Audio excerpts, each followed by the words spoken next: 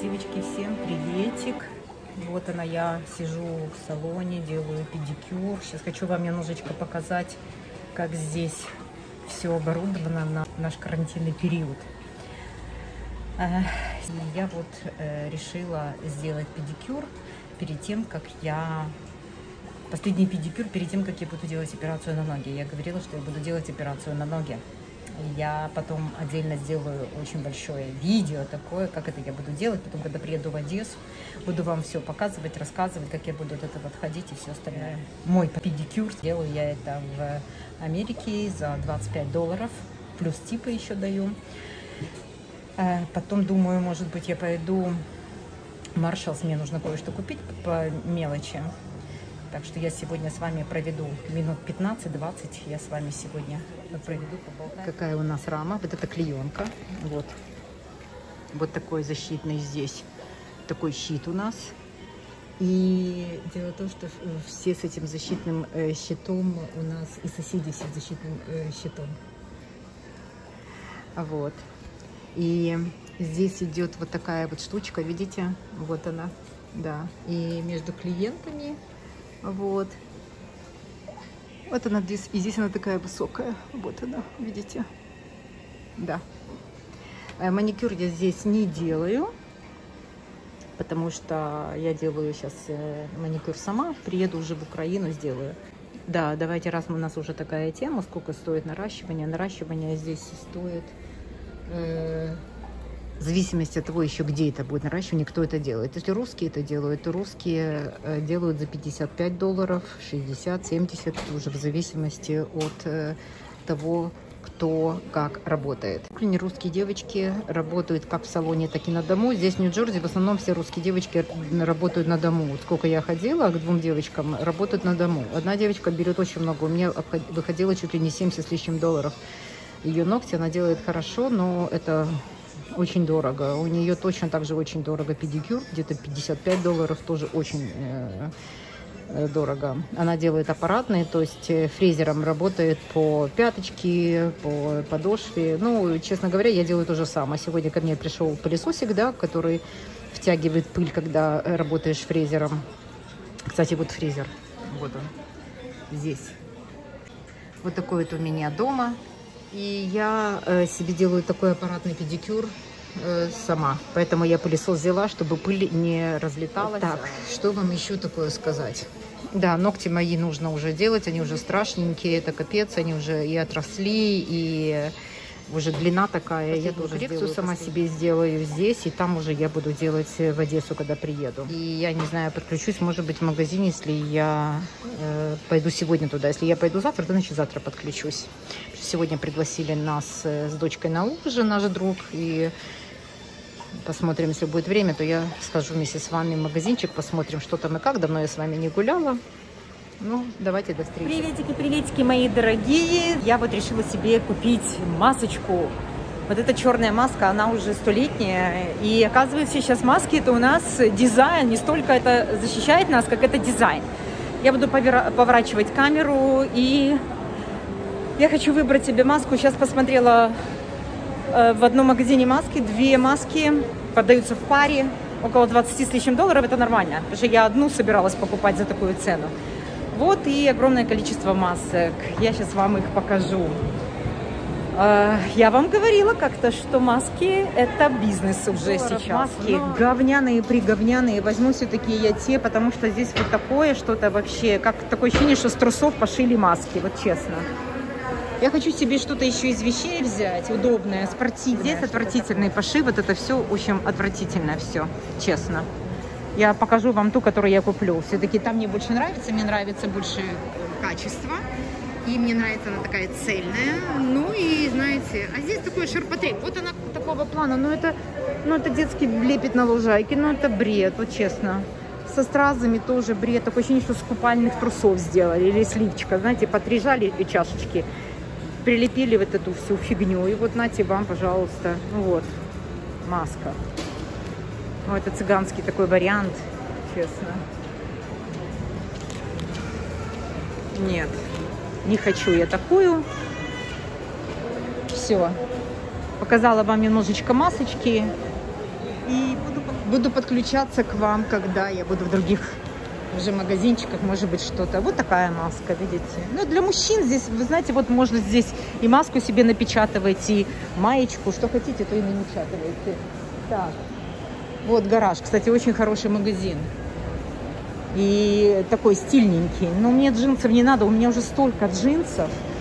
Я бы пошла, наверное, в пинк потому что у меня спинка очень много вещей всяких разных. Давайте я вам сейчас покажу, в чем я. Вот мой любимый костюмчик, который я купила за 100 долларов в, Украине, в Измаиле у себя.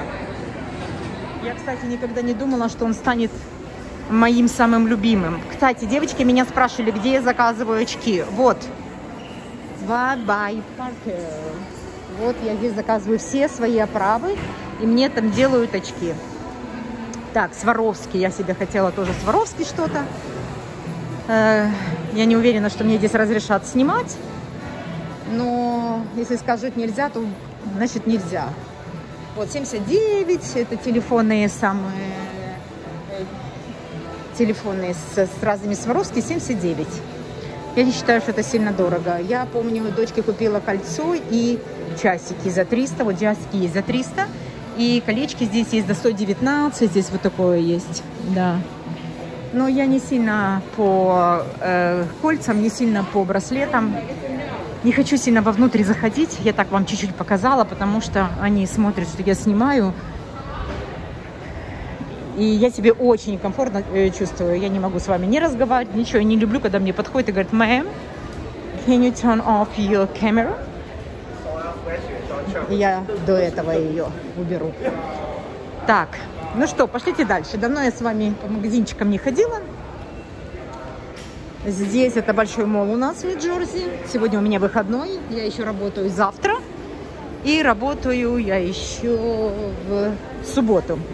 А в воскресенье я делаю, это 30 число, я вылетаю 30 30 числа. Я делаю себе тест на коронавирус утром, и в этот же день ночи я вылетаю. То есть, как всех предупреждаю, не более 48 часов должно пройти после того, как вы сделали тест. Сейчас, значит, закрыли для всех э, туристов, Украина закрыла границы. А так как я не туристка, то есть у меня гражданство еще украинское, даже если я получу американское гражданство, то я все равно себе э, обновлю себе украинское гражданство в посольстве украинском Нью-Йорке. Или я не знаю, где там я буду жить через три с половиной года. Планируем во Флориду, посмотрим. Так вот, я поднимаюсь сейчас. Не буду еще покупать, наверное, я те масочки, потому что я хочу еще все-таки посмотреть, может быть, где-то я сейчас найду э, немножечко другие. Сейчас иду я в Forever 21. Очень стильненький магазин, не сильно дорогой и буду там что-то я смотреть. Я немножечко вам покажу, а потом мне надо сосредотачиваться будет все-таки на вещах, потому что я не могу и показывать вам, и сосредотачиваться на вещах. Я зашла в магазин, проверять мне не стали температуру, хотя у него электронный термометр. Что он там сказал, я половину ничего не поняла, потому что через маску это все очень сложно. Что они говорят, о чем они говорят. Обувь, кстати, здесь говняная. Сейчас еще летняя, сейчас будет летняя все в распродаже, цены будут хорошие на летние. Но я приеду в Украину, сколько там того лета будет? Сентябрь? Приятненькая такая, стильненькая. Вот сейчас вот такие полупрозрачные вещи, очень модные. Это так, э, знаете, просто на, на, на себя одеть, и она функции никакой не выполняет, кроме как fashion. Вот видите, все, сейчас вот пошла вот такая мода. Смотрите, какая прелесть. Вот я такие вещи люблю. И вот на такие у меня сразу вещи, у меня реакция. Я вам такое что-то буду показывать. Может быть, кто-то шьет, может быть, кто-то что-то хочет, не знает что. Я вам покажу, и вы такие, «А, вот, я поняла, что я хотела. Смотрите. Интересная.